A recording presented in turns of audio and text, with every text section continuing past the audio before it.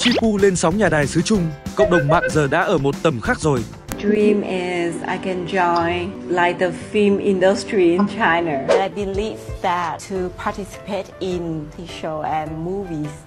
知福不简单，不简单，家人们，你不简单呐，家人们。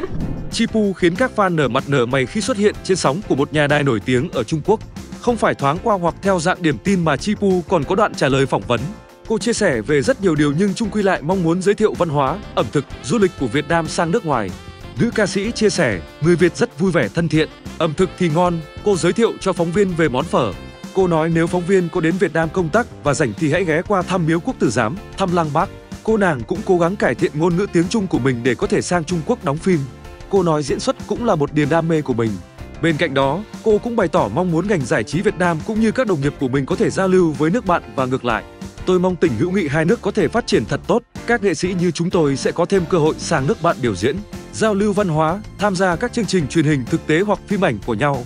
Chi thật tốt không chỉ dành hào quang cho một mình mà còn muốn các đồng nghiệp nước nhà cũng vươn tầm quốc tế, quá khâm phục tỷ, chiến thần ngoại giao, tự hào quá. hà dạ ghê, mấy người chê Chipu đâu, được đài truyền hình trung ương phỏng vấn thì Chipu đã có những sự yêu mến nhất định ở chung. Chipu giờ đã một tầm khác rồi.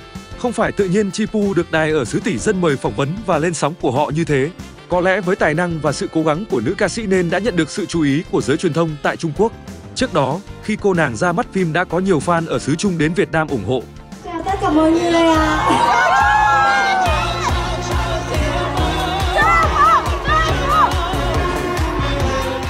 Trong buổi lên sóng tại nhà đài, nữ ca sĩ cũng cho hay các bạn ấy đã đến từ những vùng miền rất xa của Trung Quốc. Có bạn đã ngồi máy bay tổng cộng 7 tiếng. Dù Chipu đã lên sóng của nhà đài nhưng vẫn xuất hiện những ý kiến không công nhận sự nổi tiếng của cô nàng. Có người vẫn bày tỏ sự mỉa mai trong các đoạn clip cô lên sóng và cho rằng bạn hát live một đoạn đi thì lại nín ngay ấy mà, ca sĩ diễn viên mà fan không bao giờ dám khen idol của mình hát hay diễn top. Nổi tiếng cũng có dít có dắt, nổi tiếng nhờ drama với phát ngôn gây sốc không à. Trước đó, có một tiktoker đã khảo sát về sự nổi tiếng của Chipu tại xứ tỷ dân. Nhìn chung cái tên của cô vẫn có nhiều người biết đến. Đối với một nghệ sĩ hoạt động tại nước ngoài trong thời gian ngắn được biết như thế thì cũng là một sự đáng khen.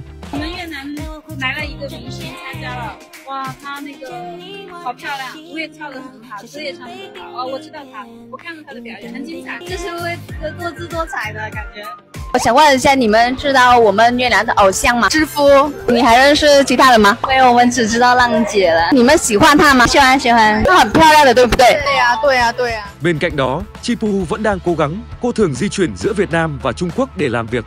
Còn bạn thấy sao về việc Chipu xuất hiện trên nhà đài xứ Trung? Hãy chia sẻ cùng Gian nhé! Nhớ bấm nút theo dõi kênh nhé.